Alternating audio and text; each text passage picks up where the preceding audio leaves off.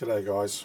Um, okay, we've got the cheap and nasty counter here set up now with the uh, actual GPS module connected to it. The GPS module is connected to an outside antenna and uh, it's been programmed to output 13 megahertz when it's locked. The output is coming out of this coaxial cable into the counter where the internal reference would normally be and um, Connected to the counter here on the input I've got a 10 megahertz G, uh, GPS derived frequency standard as well. And that's outputting 10 megahertz into the counter as you can see.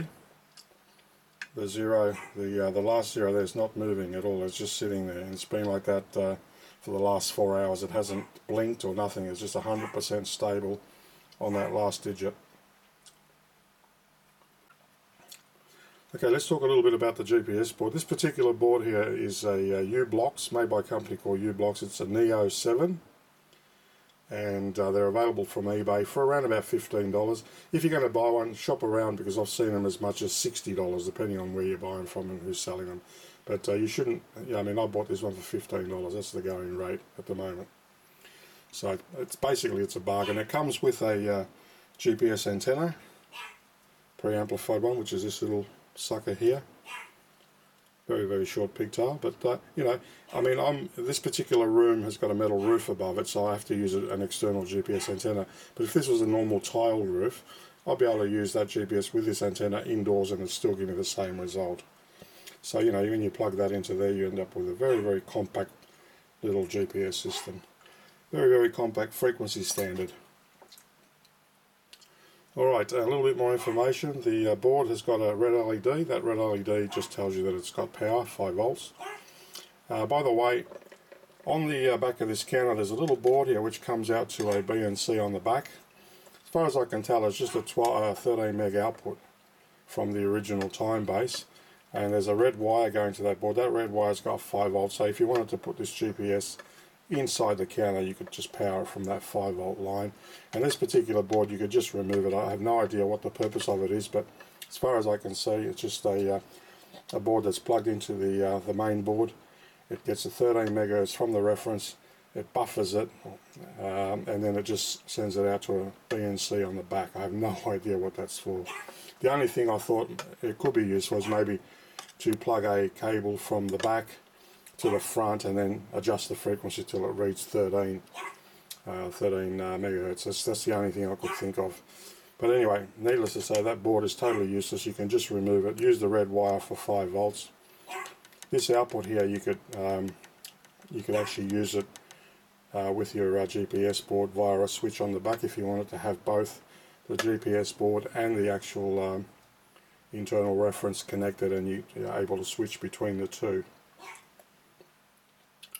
Alright, um, the board itself can be programmed to output any frequency you want from 1 Hz to about 15 megahertz. In this case I've got it programmed to output 13 megahertz which is what this frequency counter requires to produce a stable uh, stable reading. Um, the little green LED there at the moment is uh, constantly on, the little green LED. Uh, normally when you first power it up um, and the GPS receiver hasn't received any satellite yet satellites yet. That little green LED is just turned off. Once it's received a few satellites and it starts uh, you know, reading information from a few satellites, that green LED will uh, start to flash at one pulse per second. Mind you can program that to be whatever you want, but in my case I've actually just leave it at one pulse per second. And once the GPS is, uh, board is fully locked to uh, four or more satellites and uh, it's got a good signal and it's able to produce a, an accurate 13 megahertz output, that green LED will stop flashing, go solid. The uh, unit turns on 13 megahertz, comes out of it straight into the uh, into the counter, and you get your nice uh, stable reference. You uh, to program the GPS board. To program the GPS board, you need a software called uh, U-Center or U Dash Center. I'll just show you. Made by u-blox. Here's the um, the name of it up there and um, just download that software from the net, install it, uh, connect the um, GPS board via one of these little UART boards, so you need to get yourself a UART board, they're only a couple of dollars on eBay, and um, that just connects to some pins on the back of the board. Run the software program it to output whatever frequency you need uh, up to 15 megahertz. And um, and you're away make sure it's all working you can see some visible satellites on the screen which I'm just going to show you now okay I've just run the software um, now down here you can see down here connected on COM3 900, uh, 9600 baud. There's a satellite, the list of satellites that's been re currently received and the relative signal strengths and also the relative location of each satellite. You've got numerous windows here if you want to play around. I'm not really into playing around. You've got a uh, configuration screen here under view, configuration view, and uh, basic configuration place is um, you go down to time plus time pulse 5 and that's where you set all your settings now as you can see I've currently got it set to 1 Hertz when you first turn it on when it first um, connects the satellites um, going down here I've got once it's frequency locked I've got it set to 13 megahertz. Uh, duty cycle blah blah blah. You upload that to the GPS and uh, that that will stay permanently stay in the GPS so the GPS will always do what it's been instructed to do from that point onwards. The actual GPS board um, as I said will output any frequency you want from 1 Hertz to 15 megahertz. Now keep in mind that this is not a you know GPS discipline oscillator it basically uses an NCO to generate the frequencies if you were to connect the output of that up to a uh, spectrum analyzer or an oscilloscope you'll find that the output's actually quite ugly looking, quite dirty. It's not the ideal output to uh, to use, for example, to reference lock uh, communications equipment or whatever. But uh, just to lock a frequency counter like this, a cheap frequency counter, uh, perfect, not a problem at all. Works great. As you can see, there's, there's absolutely no drama. Very, very cheap, very easy to implement. I've got a, um, a proper uh, discipline oscillator up there and I've got a, another one down here as well which is the one that's actually generating the 10 meg signal that the uh, counter is currently reading um, yeah but you know for the money for $15 you're not going to be able to beat this thing here and if you just want to use it in stuff like frequency counters and stuff like that it's very accurate and it works fine there's no problem there's no reason at all why you can't use that in a frequency counter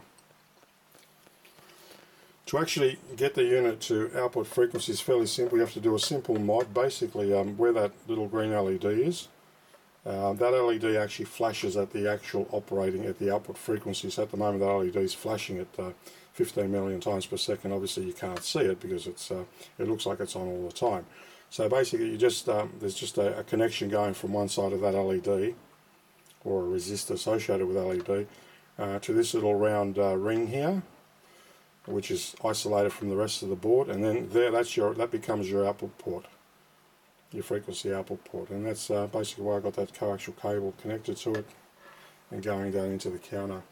So you just do that simple mod um, connect it up to your software connect up to your UART sorry run your software program it to whatever output frequency you want. In my case was 13 you might want 12 or you might want 15 or you might want 5 depending on whatever um, built-in reference your, your, your, counter has. You could set it to 10 which is a standard for most uh, you know proper test equipment and um, put it in a little box. Now with this particular in this particular counter here I haven't decided whether I'm going to you know put it in the counter permanently or uh, put a little put another BNC on the back and loop the um, the output of the internal reference to the BNC on the back which I can then loop back into the counter if I just want to use the internal reference or connect the GPS to it if I want to use the GPS reference. Um, so I haven't really decided which way I'm going to go. These, I mean, these boards are cheap enough. You can actually put one inside each test bit of test equipment if you really wanted to. Although, um, you know, ideally if you're going to plug into four or five things at once, you're probably best off, uh, you know, building a small buffer amplifier and connecting it to the output and then have your four or five outputs and then you know be able to connect it into your different bits of test equipment if everything's using say like 10 megahertz as a reference. This counter this particular counter here needs 13 megahertz, so um, that's why it's been programmed to 13 megahertz. And say I'm not sure yet whether I'm going to build it in or just leave it out or whatever. If you were to build this thing in, it'd probably be a good idea to run a couple of wires off that green LED to somewhere on the front panel there, an LED, so you can see the status of what's going on. Um, as is, as it's connected at the moment, if this uh, GPS board was to lose satellite signal, the uh, counter will just basically, all those digits will just go off. And for all intents and purposes, the counter looks like it's turned off. Um, I guess that's because this counter was built around that internal 13 meg reference and uh, once that's gone nothing on the counter works it just looks like it's as I say it, it pretty much looks like it's turned off I can show you that by just unplugging the uh, the UART from the computer I'll unplug that now and as you can see it's just dropped out to 110 GPS board is off um, at the moment it dropped to 10 sometimes it drops to nothing at all and then other times it's just yeah random random digit or whatever. Just plug that UART back in again. And now just waiting on the GPS board. It's just locked in. There we go. It's locked up locked up again. So if you build it in in place of the original uh, oscillator, if you build the actual GPS board into the counter in place of the uh, regular oscillator and just have a uh, SMA antenna socket on the back for your GPS antenna. Um, you, you, could just do that and, and you know, just leave it leave it permanently on when you need to use it. You might have to wait, you know, a few minutes when you first power it up after a long period of not using it, while the GPS uh, gets its satellites and uh, and locks on. But uh, not really a big deal. The good thing about it is that until it's actually locked, your counter won't even work at all. So you know that it's not locked. Um, I've mounted the GPS board inside the actual counter. There's a, uh, a post here which you can probably just see under there. Uh, conveniently located um, exactly where you want it to install this uh, GPS board. So that worked out alright. You got your 5 volts from the counter going to the um, to that pin there, the VCC pin. I took the uh, 5 volts from this particular little board here now, when I first bought this counter, show you the back. When I first bought this counter, I, I, I noticed this uh, BNC on the back, and I thought, wow, it's probably got a uh, um, an input for a reference, an external reference. But uh, upon investigating a little bit further, I found that it was not an input for an external reference, and uh, all that it appears to be is there's a uh, there's the uh, original uh, temperature control oscillator from the counter. It just basically takes a 13 megahertz from that counter and uh, that goes to the counter and then it also goes down this cable here onto this board and this IC here I haven't actually looked it up but it's probably some sort of a buffer or something so it just uh, amplifies the signal and it comes out on the back of this BNC now why they did that, I don't know. Um, I have no idea why they decided to take the, the uh, that frequency out to the back. Uh, maybe for alignment purposes, maybe you can, you know, connect a, a BNC cable here, connect it to the front of the counter there, and uh, you can determine, you know, maybe adjust the uh, the oscillator till it reads 13 on the display. I don't know. Either way, this board is totally useless. I, you know, you could just, if you really want to, you could just remove it. It's, it does absolutely nothing in there. But yeah, conveniently there's a 5 volt wire on that board which I cut off from here. And I've used that to uh, power the GPS board. Um, there's a tiny little connector here. I don't know exactly what these are called. I'll have to look it up.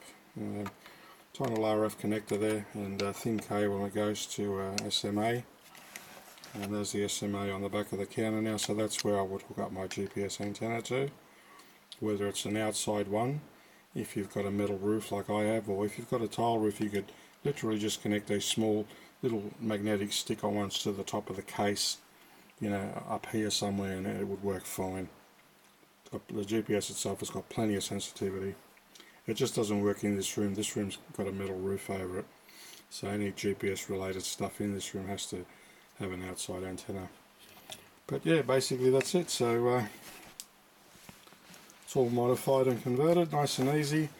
Um, I've decided to um, maybe leave that in there permanently as a permanent fixture and um, that's it. I'll just buy a couple more of these and uh, if I've got any other equipment that could use something like this I'll uh, program them to suit and install them. So there you go. Nice simple project. Um, you know turns your uh, sort of cheapish nasty counter into something uh, quite a bit more useful. Anyway thanks for viewing. Don't forget to subscribe. Um, I intend to do a few more of these kind of videos in the future um, I don't always have time to do videos you know often enough I'm repairing something I don't have time to stop and uh, you know make a video unfortunately it just uh, takes up too much time and too much effort. But with uh, kind of simple sort of projects like this it's not so bad. And even this one as you can see a lot of the stuff's just in basically I've done it just taken photos because I didn't have time to uh, stop and take video. But anyway if you want to see more videos like this please subscribe and uh, I'll just keep uh, making a few every now and then various uh, subjects and things that I'm interested in. Alright catch you next time